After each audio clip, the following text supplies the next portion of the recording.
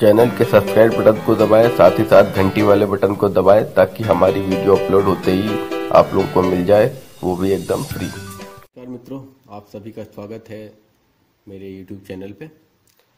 सागर ज्योतिष केंद्र आप सभी का हार्दिक स्वागत करता है। ज्योतिष और कुंडली सीखने की श्रृंखला में आज हम आगे बढ़ते हुए एक नए टॉपिक को कवर करेंगे। आज दोस्तों हम लोग देखेंगे कि किसी भी लग्न कुंडली में जिस भी जिस भी लग्न की कुंडली हो, जिसका लग्नेश कोई भी हो तो हम किसी भी लग्न कुंडली में कैसे पहचानेंगे कि कौन से ग्रह हमारे लिए शुभ ग्रह का काम कर रहे हैं, अशुभ ग्रह का काम कर रहे हैं या सम ग्रह हैं तटस्थ ग्रह हैं? देखिए, यहाँ पर शुभ, अशुभ लिखा हुआ है, जो मुझे भी बहुत अजीब सा लगता है, क्योंकि कोई ग्रह शुभ या अशुभ नहीं होता है, ना ही कोई ग्रह मारक होता है, कोई कोई ग्रह किसी को भी नुकसान नहीं पहुंचाना चाहता, लेकिन ये हमें इसलिए लिखना पड़ता है क्योंकि सबकी कुंडलियाँ अलग अलग सी होती हैं और कुंडलियों में बैठे हुए ग्रहों के हिसाब से हम ये बताने की कोशिश करते हैं कि क्या वो ग्रह उस पर्टिकुलर कुंडली में शुभ फल दे रहा है, अशुभ फल दे रहा है या सम फल दे रहा है। इसलिए हमने यहाँ पर शुभ ग्रह अशुभ ग्रह और सम ग्रह की बात करी है। ये उनके फलों के आधार पे है। सो आज से हम शुरू करेंगे कि हमारे पास बारह राशियाँ हैं। बारह राशियाँ हैं तो मतलब बारह तरह की लग्न कुंडलियाँ बनेंगी। जैसे मैंने पिछले वीडियो में आपको बताया है कि ये पहला पहला हाउस है, पहला घर है या पहला भाव है। फ़र्स्ट सेकंड थर्ड से लेके बारह हाउसेस हमारे होते हैं। इन बारह राशियाँ होती हैं जो इन इन घरों में बैठती हैं। और जहाँ पर लग्न लिखा रहता है या असेंडेंट एएससी लिखा रहता है वो हमारा पहला घर होता है। और यहाँ पर जो भी राशि लिखी होती है एक से लेके नौ तक उसको हम अ, उस राशि उस लग्न कुंडली का मालिक बोलते हैं। सो अ, वो राशियों के बारे में क्या है और राशियों के स्वामी ग्रह क्या हैं, ये सब मैंने पिछले वीडियो में बताया हुआ है। तो जो लोग भी डायरेक्टली इस वीडियो पे आए हैं, उनसे रिक्वेस्ट है कि वो पुराने वीडियो ज़रूर देख लें ताकि उन्हें चीज़ें इजली समझ में आ जाएँ। और जिन्होंने अभी तक चैनल को सब्सक्राइब नहीं किया है, वो प्लीज़ सब्सक्राइब करें लाइक करें शेयर करें ताकि लोगों तक ये बात पहुँचती रहे। तो दोस्तों देखते हैं कि कैसे हम देखते हैं ग्रहों के अपनी कुंडली पर्टिकुलर अपनी कुंडली जिस भी लग्न की है, उसमें कौन से ग्रह शुभ फल दे रहे हैं, कौन से अशुभ दे रहे हैं और कौन से सम तो शुरुआत करने के लिए हम सो, एक एग्जांपल लेते हैं कि सपोज़ हमारे जो पहला घर है, वहाँ पर एक नंबर राशि है। तो एक नंबर राशि है तो बाकी घरों में राशि लिखने का तरीका मैंने आपको बताया था कि एंटी क्लॉकवाइज घड़ी की उल्टी दिशा में चलते जाइए और नंबरिंग लिखते जाइए।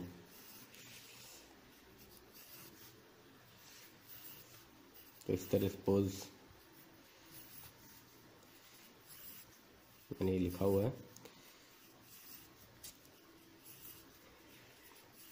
जो वन एच टू एच लिखा है, ये घर को डिनोट कर रहे हैं और जो नंबर सर्कल में है, गोले में है, वो आपकी राशियों को डिपेंड कर रहे हैं। तो यहाँ पर हम बना ला कि इसमें पहला नंबर है, पहला नंबर मतलब मेष राशि, ठीक है? तो इस पूरी लग्न कुंडली के मालिक वो है मेष राशि और मेष राशि का जो स्वामी ग्रह है वो है मंगल देवता। सो so, इससे हमें एक बात समझ में आई कि ये मेष लग्न की कुंडली है जिसके स्वामी हुए मंगल देवता। तो अब हम देखते हैं कि मंगल देवता वृष राशि शुक्र देवता ये मैंने आपको बताया हुआ है। सो so, कौन कौन से इसमें जो ग्रह हैं वो हमारे लिए योग कारक हैं योग योग कारक हैं शुभ फल देने वाले हैं अशुभ फल देने वाले हैं तो ये एक जनरल प्रडिक्शन है, क्योंकि यहाँ पर हम कहीं ग्रहों को नहीं बैठा लेंगे। हम सिर्फ़ ये देख रहे हैं कि राशियाँ जिस जिस हिसाब से बैठी हैं, उस हिसाब से उन राशियों के जो मालिक हैं, उनको देखना है और उसके हिसाब से हमें ये प्रेडिक्ट करना है कि ये इनके लिए शुभ या अशुभ होंगे, क्योंकि अभी यहाँ ग्रहों की कहीं प्लेसमेंट नहीं है। ठीक है तो एक जनरल प्रडिक्शन है, जो मैं हम एक से लेकर पूरी बारह राशियों के लिए करेंगे। तो आज से शुरू करते हैं हम पहले मेष राशि के लिए। तो चूँकि ये मेष राशि है, मेष राशि के स्वामी होते हैं मंगल देवता। ठीक है? और ये है वृष राशि इसके मालिक हैं शुक्र देवता। ये ग्रह मैं बैठाल नहीं रहा हूँ ये मैं इनके स्वामी ग्रहों के नाम लिख रहा हूँ। आप लोग ये मत समझिएगा कि यहाँ ग्रह बैठे हुए हैं। मैं इन, इन राशियों के स्वामी ग्रहों के नाम लिख रहा हूँ सिर्फ़। बुद्ध देवता चंद्र देवता सूर्य देवता फिर से बुद्ध देवता शुक्र देवता, मंगल देवता फिर से, गुरु देवता, गुरु जिनको बृहस्पति भी बोलते हैं, और शनि देवता शनि देवता, फिर से गुरु देवता। तो ये जो मैंने आपको गोले में लिखे हैं, ये राशियाँ हैं, और उन और जो नाम लिखे हुए हैं, वो उन पर्टिकुलर राशियों के स्वामी हैं। तो आप ये याद रखिएगा, ये सब इनके स्वामी हैं। ये यहाँ पर कोई प्लेसमेंट नहीं है। इस तरह मैं सेम फॉर्मेट का यूज़ करके आपको आगे भी बताता रहूँगा। प्लीज़ बहुत ध्यान से समझिएगा। तो देखिए, ये बन गई मेष लग्नी कुंडली। मेष लग्नी कुंडली मतलब जिनके मालिक है मंगल देवता। अब देखिए, कुंडली में तीन चीज़ें बहुत ध्यान देने योग्य बात है। तीन चीज़ों में क्या होता है कि कुंडली में कुछ चीज़ें बहुत अच्छी हैं और कुछ चीज़ें खराब हैं। कुंडली में जो केंद्र के घर होते हैं, केंद्र के घर मतलब जो सेंटर में घर होते हैं मतलब पहला house fourth house seventh house और टेंथ हाउस पहला घर, चौथा घर, सातवां घर, दसवां घर, ये केंद्र के घर होते हैं। तो कुंडली में केंद्र घर हमेशा शुभ माने जाते हैं। ठीक है? ये बात आपको याद रखनी है कि कोई भी कुंडली हो, उसमें केंद्र के घरों को शुभ माना जाता है। और त्रिकोण के घर को शुभ माना जाता है। त्रिकोण क्या होते हैं? पहला घर, पांचवा घर और नवा घर। First house fifth house and ninth house ये त्रिकोण है। देखिए, आप अगर आप इन तीनों को जोड़ेंगे ऐसे तो एक ट्राइंगल शेप त्रिकोण का शेप बनेगा, इसलिए इनको त्रिकोण के घर बोलते हैं।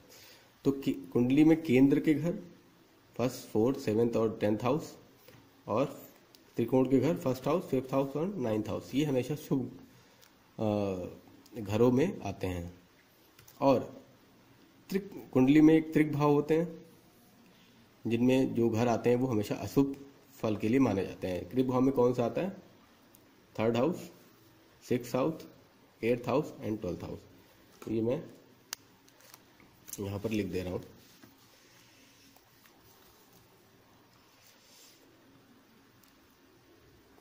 केंद्र के घर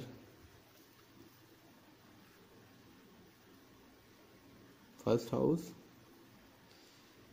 fourth house seventh house और टेंथ हाउस ये शुभ माने जाते हैं। फिर त्रिकोण के घर फ़र्स्ट हाउस फिफ्थ हाउस और नाइन्थ हाउस ये शुभ माने जाते हैं। और जो अशुभ हैं वो त्रिक भाव त्रिक भाव या घर। त्रिक भाव वैसे त्रिक मतलब तीन होता है, तीन भाव मनाते हैं, छठा, आठवां और बारहवां। सिक्स हाउस एट्थ हाउस और ट्वेल्थ हाउस ये मेनली त्रिक भाव होते हैं। इसलिए त्रिक मतलब तीन। लेकिन हम, ये जो हमारा थर्ड हाउस है, ये भी चूँकि ज़्यादा मेहनत का घर है, भाग दौड़ का घर है, चूँकि ये पराक्रम का घर भी है तो इसको हम पराक्रम के पॉइंट ऑफ़ व्यू से भी देखते हैं, लेकिन क्योंकि तो ज़्यादा मेहनत घर है, दौड़ भाग का घर है, इसलिए हम इसको भी थोड़ा सा ज्योतिष में बुरे प्रभाव के लिए जानते हैं। लेकिन त्रिक भाव में तो छः आठ, बारह सिक्स एट ट्वेल्थ हाउस आता है और एक मैं सी में थर्ड हाउस भी ऐड कर दे रहा हूँ। ताकि आपको याद है थर्ड हाउस त्रिक भाव ये हो गया और थर्ड हाउस ये।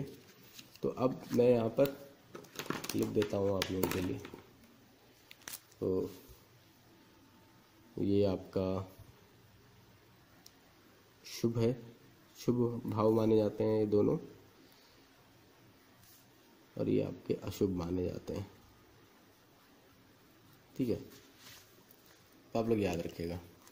ये बहुत ज़रूरी है जानना कि जो केंद्र के भाव होते हैं, वो शुभ फल देने वाले होते हैं, त्रिकोण के भाव शुभ फल देने वाले होते हैं, और त्रिक भाव छः आठ, बारह का जो हाउसेज है वो थर्ड हाउस ये खराब घर माने जाते हैं। लेकिन यहाँ पर ही पॉइंट है कि केंद्र त्रिकोण मैंने बोला हमेशा शुभ होते हैं और त्रिक भाव खराब होते है। देखिए मैम, यहाँ पर मैं भावों की बात कर रहा हूँ मतलब घरों की बात कर रहा हूँ। मैं बोल रहा हूँ कि केंद्र के घर, त्रिकोण के घर और त्रिक त्रिक घर, ये शुभ फल देने वाले होते हैं। मैंने ये यहाँ कहीं नहीं कहा कि इसमें चाहे जो भी घर बैठा हो, वो आपको अच्छे ही परिणाम देगा। ऐसा नहीं है। ये घर अच्छे होते हैं इनमें अगर कोई अच्छा घर बैठेगा तो वो और अच्छा परिणाम देगा और इन घरों से संबंधित भी बहुत अच्छे परिणाम आपको मिलेंगे। ये धीरे धीरे आप लोग सीख जाएँगे। सो so, वो हम आगे देखेंगे। लेकिन आप लोगों को ये ये एक बेसिक फार्मूले हैं जो आपको याद रखना है कि केंद्र घर त्रिकोण घर अच्छे घर अच्छे चीज़ों में काउंट होते हैं और त्रिक भाव खराब चीज़ों में काउंट होते हैं। तो चलते हैं यहाँ पर अब देखते हैं। अब हम शुभ अशुभ के बारे में थोड़ा सा बात कर लेते हैं। तो देखिए यहाँ पर लग्नेश बने मंगल मतलब इस कंडली के स्वामी मंगल हुए। मंगल को दो राशियाँ प्राप्त हैं, एक मेष राशि और दूसरी वृश्चिक राशि। देखिए, मैंने यहाँ बोला, केंद्र भाव शुभ होता है। अभी आपने देखा, केंद्र का घर शुभ होता है और एर्द भाव त्रिक भाव होता है, जो अशुभ होता है। ठीक है, लेकिन थ्योरी ये कहती है कि जो केंद्र होता है, केंद्र के जो मालिक होते हैं, उनको अष्टमेश होने का, अष्टम भाव में बैठने का दोष नहीं लगता है। ठीक है, अगर जो अष्टम भाव में बैठा हुआ कोई भी ग्रह, अगर लग्नेश है, लग्न जो आपका है, वो ग्रह अष्टम भाव में आके बैठ गया है तो उसको दोष नहीं लगता है। हाँ दोष नहीं लगता है, लेकिन इसका मतलब ये नहीं है कि उसको, उस पर कोई इफ़ेक्ट नहीं पड़ेगा। थोड़ा बहुत इफ़ेक्ट पड़ता है, लेकिन दोष नहीं लगता है। इसलिए हम जनरल एक प्रडिक्शन में ये बोलते हैं कि लग्नेश हमेशा शुभ ही फल देते हैं। बाकी उनकी प्लेसमेंट पर डिपेंडेंट होता है, वो आगे हम सीखेंगे। तो किसी भी कुंडली में लग्नेश हमेशा शुभ फल देते हैं। तो लग्नेश हमेशा शुभ फलों की ग्रह, शुभ ग्रहों के श्रेणी में आ जाते हैं। तो पहला ग्रह तो मंगल हो गया शुभ। अब देखिए, दूसरे में चलते हैं शुक्र। शुक्र को भी दो राशियाँ प्राप्त हैं सेकंड नंबर और सेवेंथ नंबर अब देखिए, ये घर बचत का घर है, पैसे का घर है, कुटुंब का घर है, वाणी का घर है, और ये विवाह का घर है। ठीक है? और